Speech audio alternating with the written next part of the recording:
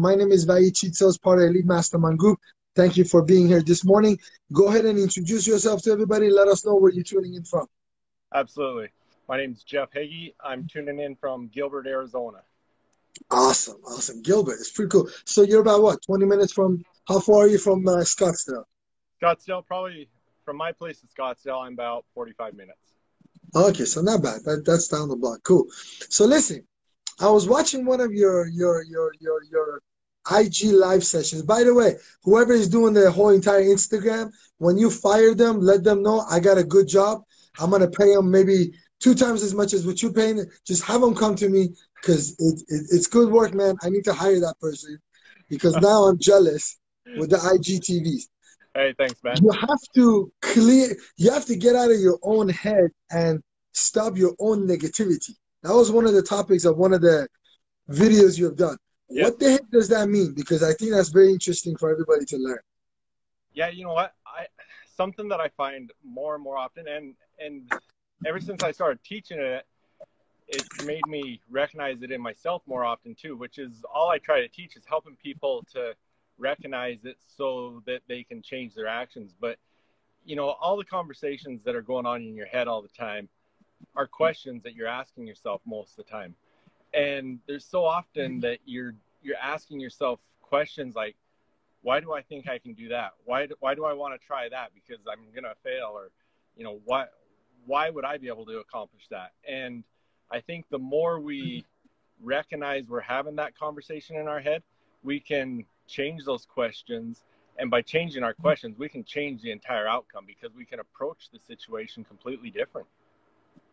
But if I'm having negative thoughts or doubts, is that is that a bad thing or is that a good thing? Because I feel like sometimes we need that, or else everybody will be jumping off the building. Like you gotta have that negative thought. Like I think is like more pros and cons of the situation, not like doubting it.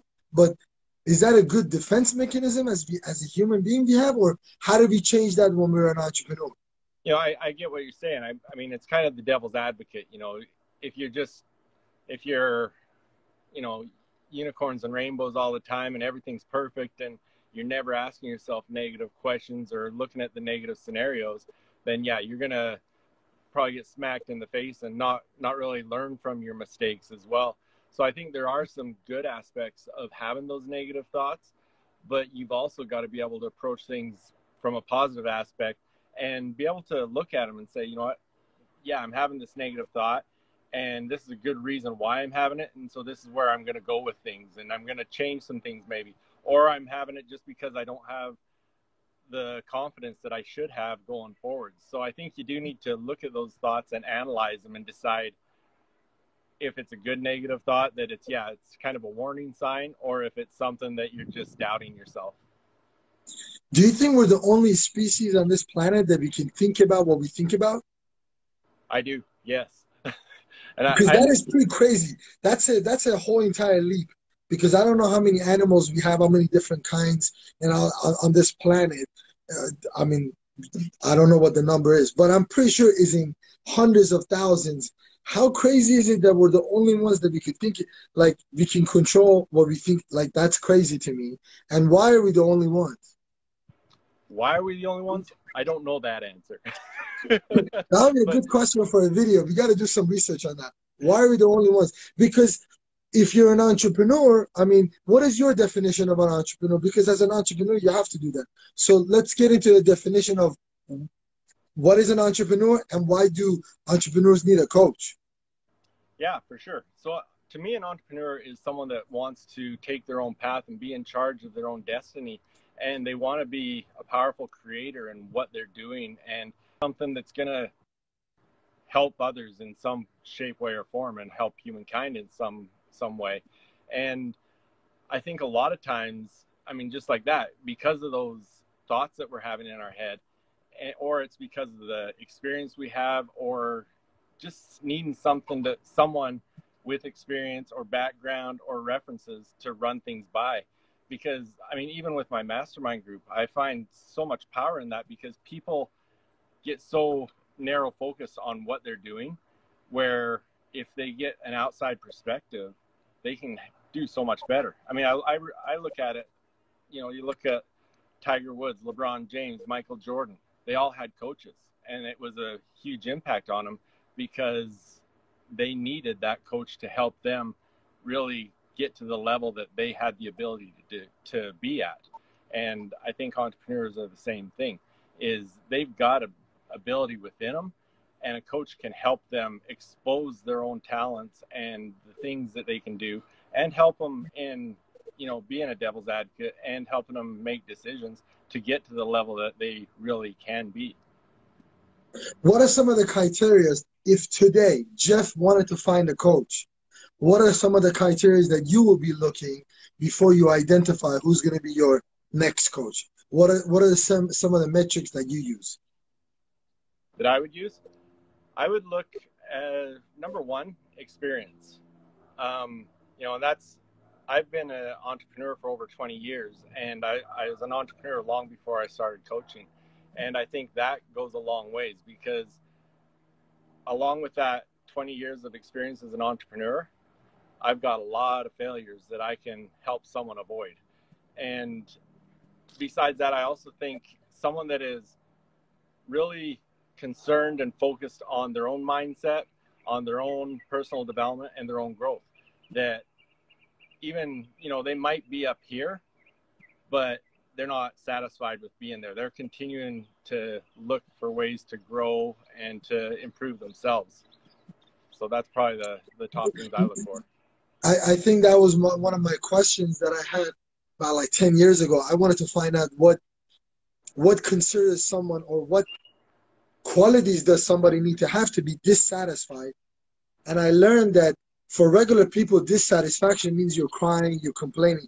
But I learned because I got exposed to a lot of entrepreneurs, dissatisfaction meaning meant that you know you can do more and you want more. It doesn't mean you're crying where you at. So it was a very distinct definition of what a lot of people call dissatisfaction. So I think you just got to be hungry. I think that's a better definition. Yeah. You just got to have that hunger. Exactly, because if you're if you're doing awesome, if you've done some incredible things in your life, and you're just satisfied, there's no more growth. You're not going anywhere, and when you stop growing, you're dying. So yeah, I, I totally agree with you. How often do you recommend for entrepreneurs or people that are trying to get into business self development? Talk to me like what are some of the methods that you use yourself to be able to stay up to speed, you know, with the trends, all of that, and build upon what you already got as far as the business and entrepreneurship knowledge. Uh, if someone is starting brand new, what are some of your recommendations? There's a lot of things you can do. Um, number one, you've got to be reading every day. You know, if someone like Warren Buffett spends two, three hours a day reading, I think that tells us something, right? And, you know, there's so much knowledge out there that we can learn from. And I think you've got to be very meaningful in what you're reading and studying and stuff. You know, I used to just want to get as I, I remember when I heard Tony Robbins say that when he started out, he wanted to get through 700 books. So I'm like, well, worked for him, let's do it. And so it was like, read a book, go on to the next, read a book, go on to the next. But now I'm a lot more um, purposeful in my reading, making sure I'm reading on topics that I'm really focused on at the moment, and I I really try to study them. You know, right now I'm reading uh, Benjamin Hardy's new book that's coming out in a few weeks, and I've spent a lot of time just really digesting it. And even this morning, I went back because there was some stuff I read last night that I'm like, I, I really want to read that again. And so I'm going back and more than just reading it, I'm learning it and trying to really absorb it but then there's so many other tools that you can have. There's the there's podcasts you know stuff like this that you know there, you can learn so much from other people's experiences. And that's why i love biographies and autobiographies as well.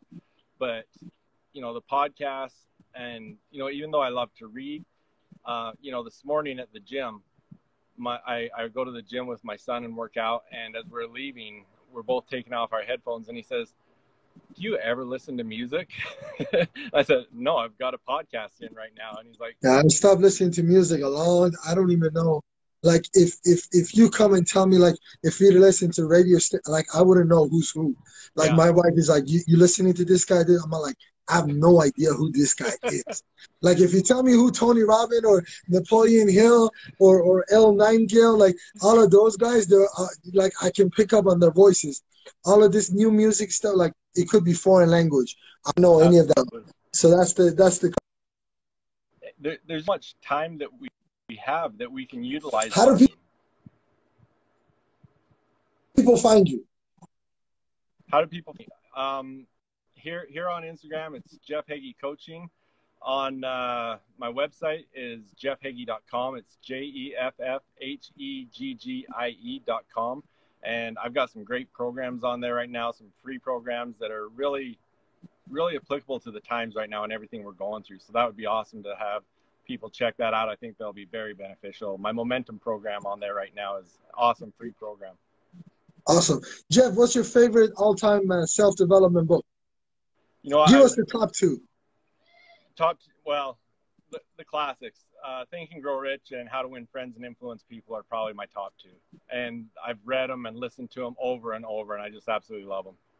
Awesome. Listen, thank you so much for taking this time out of your busy schedule, being with us. Keep up the good work on IGTV. Once this video is out, I'm going to link to some of your IGTV because I think everybody should be listening to that stuff every day. Keep up the good work. Hopefully, we can do more with you. Yeah, I appreciate it. Thanks. You got to talk to you later. Bye bye. All right. Bye bye.